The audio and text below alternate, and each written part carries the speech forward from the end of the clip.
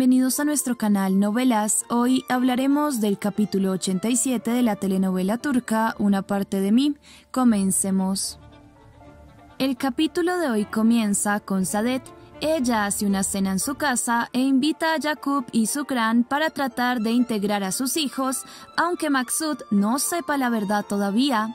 Sadet le agradece a Jakub por haber aceptado su invitación y le dice que la cena la preparó ella misma para él con productos de su tierra en gratitud por toda la ayuda que les brindó. Jacob solo sonríe muy incómodo. Al mismo tiempo vemos a Melek, la hermana de Maksud y Jacob, salir a escondidas de la mansión, ya que ella le gusta ir a cantar a los bares de noche sin que su madre se dé cuenta, debido a que ella le prohíbe cantar. Melek sale cuidadosamente, pero los hombres de Kimet se dan cuenta y salen corriendo detrás de ella, pero no logran alcanzarla para secuestrarla, ya que Kimet los mandó a raptarla para amenazar a Sadet. Por otro lado vemos a Karaman en la habitación con Sihan. Él le dice que no sabe cómo preguntarle eso. Lo último que quiere ponerlo es mal o cansarlo, pero debe saberlo. Karaman le pregunta si hay algo que deba saber sobre Defne. Sihan oprime el botón una vez queriendo decir que sí. Karaman le pregunta angustiado si Defne le hizo algo a él. Sihan oprime el botón una vez y Karaman se pone muy triste. Luego de un momento, él le cuenta que habló con una enfermera en el hospital y le contó sobre su teléfono. Karaman le pregunta si hay algo que deba ver en su teléfono. Sihan oprime el botón una vez y Karaman empieza a buscar el celular de su padre por toda la habitación hasta que lo encuentra. Karaman trata de prenderlo, pero está dañado. Él le promete a Sihan descubrir toda la verdad y se va. Al mismo tiempo vemos a Elif ir a la mansión a visitar a Toprak. Defne se da cuenta que está buscando al pequeño Toprak en su habitación y se va rápidamente para la habitación de Karaman donde está Toprak y se recuesta en la cama simulando que se queda a dormir en la habitación con Karaman.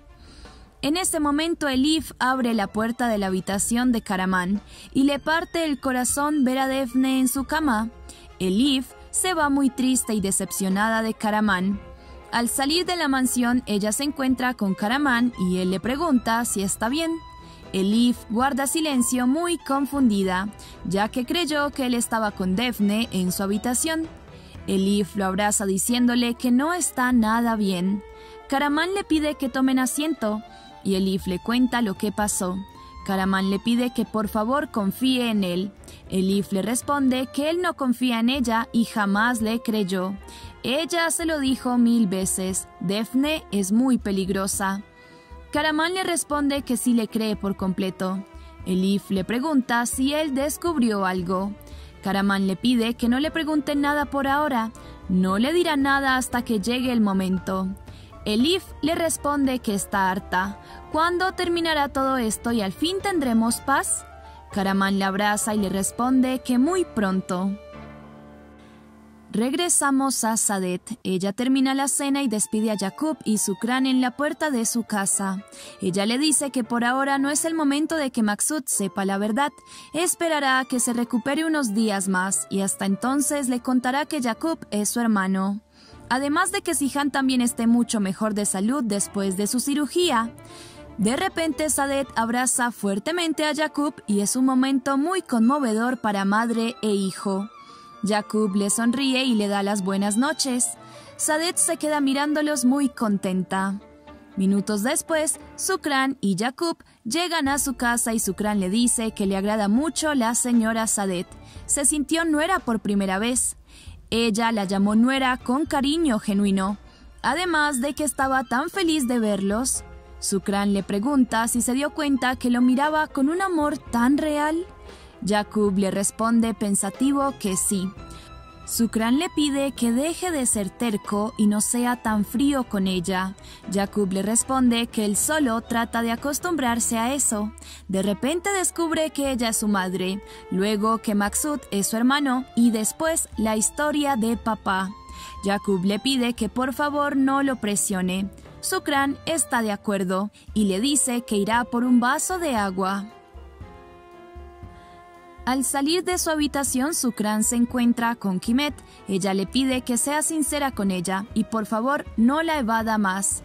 Kimet le pregunta si ella le dijo a Jacob sobre Sadet. Sukran le jura que no le ha dicho nada. Kimet le responde que le parece que le está mintiendo.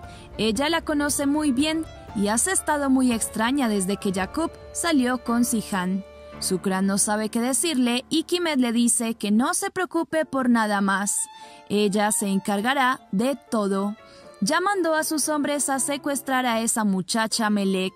Sukran le responde alterada que cómo se le ocurrió hacer eso. Será mejor que llame inmediatamente y detenga eso. Kimet le responde que no hay marcha atrás. Ella se vengará de esa víbora a toda costa. Lo que Kimet no sabe es que Melek se escapó de su casa y Selim la auxilió en la mansión Yorukan. Regresamos a Sadet. Ella va al cuarto de Maxud, que antes era el de Leaf, a llevarle su medicina. Maxud pide que no quiere a Jacob cerca de él. Él sabe que está en busca de venganza de la cual él no quiere hacer parte. Él ya olvidó a Liv y Karaman y ahora solo quiere tratar de estar tranquilo y olvidarlos. Sadet está de acuerdo, siguiéndole la corriente y le da las buenas noches. Minutos después, Elif llega a su casa y llama a Soner. Ella se disculpa por no poderlo acompañar al viaje de negocios, ya que la psicóloga de su hijo no pudo reprogramar la cita.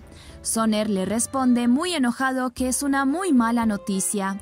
Él ya hizo las reservas en el hotel y ya compró los boletos. Elif le responde que lo siente mucho y que ella tratará de manejar el negocio desde la oficina. No puede viajar en ese momento, tiene que cuidar a Karaman y a Tobrak.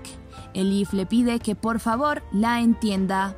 Soner le responde que al parecer él y ella ven el profesionalismo de formas distintas. En ese momento llega Karaman con un ramo de flores y la saluda. Elif se alegra mucho al verlo y Soner se pone muy celoso al escucharlo. Elif se disculpa con Soner y le dice que se ven mañana en la oficina. Soner corta la llamada furioso. Al mismo tiempo vemos también a Celal entregarle un ramo de flores a Mukjan. Ella se sonroja y ambos se van a la cocina para dejar solos a Karaman y Elif, quienes se están reconciliando. El capítulo termina con Defne. Ella está en su habitación sentada en la cama peinándose el cabello muy triste, recordando sus viejos tiempos con Caramán. Ella recuerda el momento en que iban caminando por la finca de Granadas y Caramán le estaba contando la historia del nombre originario de la Granada. También recuerda el momento en que Caramán la miraba y la besaba con dulzura. Defne murmura que su vida era muy feliz hasta que llegó Elif a sus vidas. Karaman y ella tenían una vida perfecta. Estábamos tan enamorados, éramos el uno para el otro. Bueno amigos, eso fue todo por hoy. No olviden suscribirse y activar la campanita de notificaciones para que no se pierdan de ni un solo detalle de esta intrigante historia. Gracias por preferirnos.